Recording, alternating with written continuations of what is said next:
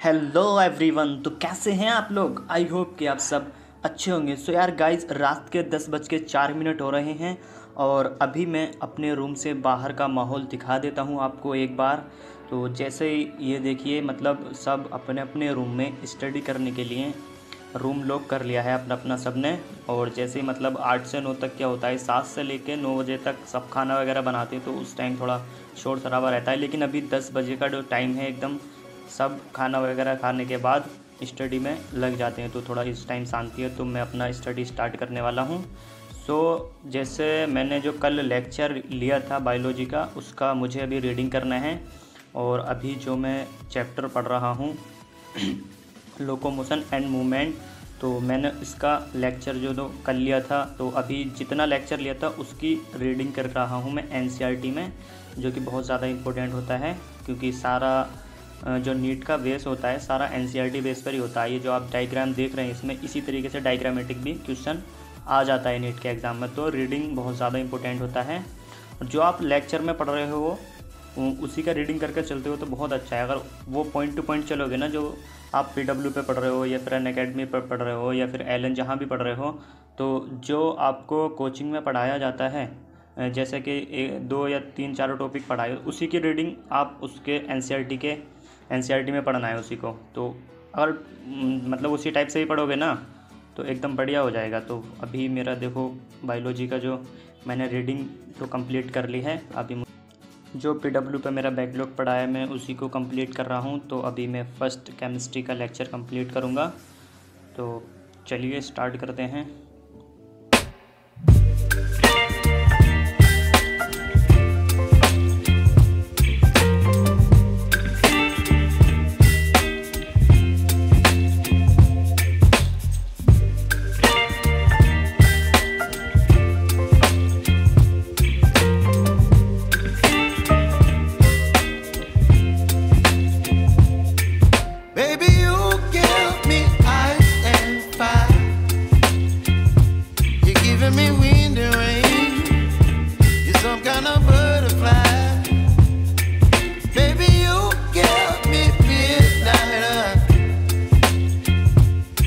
up my appetite. Don't leave me here.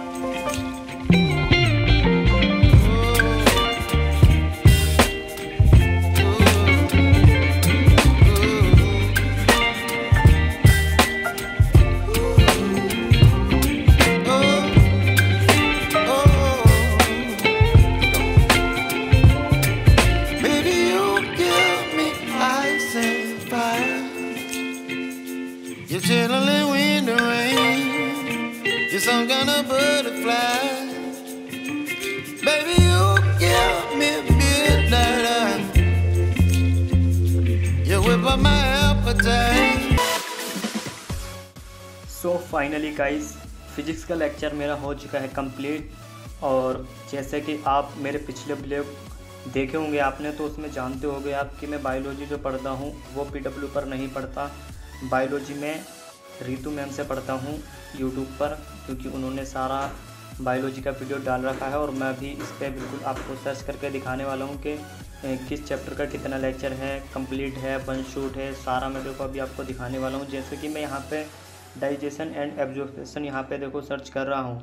तो अभी देखो सर्च होने दो इसको, और जैसे कि ये सर्च हो के देखो यहाँ पर जो ये पूरा मैम ने पूरी बायोलॉजी का डाल रखा है। यहाँ पे देखो सारी क्लासें हैं इसमें। डाइजेशन एब्जॉर्प्शन की सारी क्लासें देखो ये प्ले लिस्ट आपको मिल जाएगी। जैसे ही आप सर्च करोगे, यहाँ पे देखो सारा मतलब पूरा चैप्टर कंप्लीट लगभग इसके दस या बारह बारह लेक्चर हैं और उसमें पूरा कवर करा देंगे ये मैम अगर कोई यूट्यूब से बंदा पढ़ता है तो ये सबसे बेस्ट है। यहाँ पर पूरी आपको कंप्लीट मिल जाएगा बायोलॉजी का। देखो बारह लेक्चर यहाँ पे अभी जैसे कोई देखो, मैं दूसरा चैप्टर सर्च करके दिखाता हूँ जैसे आपको। तो यहाँ पे देखो अभी सर्च करता हूँ। लोको मोशन एंड मूवमेंट तो यहाँ पे ये सर्च होने, देखो यहाँ पे ये मतलब हर चैप्टर पूरे प्ले लिस्ट मिल जाएगी आपको। दस या बारह क्लासों में पूरा चैप्टर अच्छे से कंप्लीट एकदम ज़ीरो लेवल से भी पढ़ोगे ना आप, तब भी आपका चैप्टर कंप्लीट हो जाएगा अगर यहाँ से पढ़ते हो। मतलब पूरा फुल सिलेबस है यहाँ पर बायोलॉजी का एन तो अगर आप यूट्यूब से पढ़ते हो तो यहाँ से आप पढ़ सकते हो। पूरे मतलब कंप्लीट मिलेगा आपको हर चैप्टर जो भी आपको चैप्टर्स वहाँ पे सर्च करना है बस वहाँ पे लिख देना बाई रितु मैम तो वहाँ पे आपको प्ले लिस्ट मिल जाएगी। अगर आप वन शॉट रिवीजन में पढ़ना चाहते हो तो वहाँ पे जो भी चैप्टर आप लिख रहे हो, जैसे डाइजेशन एंड एब्जॉर्वेशन तो वहाँ पे लिख के digestion and absorption one shot revision by Ritu ma'am तो इस टाइप से अगर आप सर्च करते हो तो वहाँ पे आपको सारा पूरा चैप्टर मिल जाएगा। ये बहुत सारी देखो प्ले लिस्ट है अन अकेडमी का जो ये ऐप है, यहाँ से आपको प्ले लिस्ट में जाके फिर वहाँ पर भी आप जा सकते हो। नहीं तो आप चैप्टर वाइज भी सर्च करके यहाँ से क्लासें ले सकते हो। जो कि आपको यूट्यूब से पढ़ने में एकदम हेल्पफुल हो जाएगा। तो बेसिकली मैं जो अपना बायोलॉजी का स्टडी करता हूँ, वो यूट्यूब से ही करता हूँ रितु मैम से। क्योंकि इनका पढ़ाने का अंदाज़ एकदम बिल्कुल बढ़िया है। अगर आप हिंदी मीडियम से हो, तब भी इनका इंग्लिश मीडियम में अगर आप लेक्चर लेते हो लेक्चर इंग्लिश में लेते हो और रीडिंग हिंदी में करते हो, तब भी आप समझ जाओगे। क्योंकि उतना टफ नहीं होता है पढ़ना। अगर आप कोई लेक्चर इंग्लिश में ले रहे हो और रीडिंग हिंदी में कर रहे हो तो बेसिकली मेरे तो समझ आ जाता है। अगर आप इसको डिज़र्व कर सकते हो तो आप भी ऐसा कर सकते हो, नहीं तो आप अगर पी डब्ल्यू पे पढ़ रहे हो तो पी डब्ल्यू पे ही पढ़ सकते हो। तो ये जो यूट्यूब पे स्टडी करते हैं, उनके लिए बता रहा था मैं। तो अभी मैं थोड़ा अपना यूट्यूब देख लेता हूँ, कैसे क्या वीडियो पे व्यूज़ वगैरह आ रहा है। तो ये मेरा यूट्यूब चैनल है। यहाँ पर मैं अपना चेक करता हूँ, थोड़ा स्टडी वगैरह करने के बाद अगर मेरे को फ्री टाइम मिलता है तो अपना मैं यूट्यूब चैनल वगैरह देख लेता हूँ, कौन सी वीडियो पे कितने व्यूज़ आया अभी जैसे मेरी ये वीडियो है, इस पर one point one million views गया था। तो बेसिकली इस वीडियो वायरल होने की वजह से मेरा सब्सक्राइबर ज़्यादा बढ़ गया। ये देखिए वीडियो का एक अनबॉक्सिंग का वीडियो था। यहाँ पर ये मैंने इसका अपना जो टेबल क्लॉक है इसका अनबॉक्सिंग का वीडियो डाला था। तो इस पर one point one million views हो गए। तो प्राइज़ रात के दो बज के सात मिनट हो गए हैं। काफ़ी लेट हो गया हूँ मैं और नींद भी आ रही है मेरे को। तो चलिए मिलते हैं नेक्स्ट वीडियो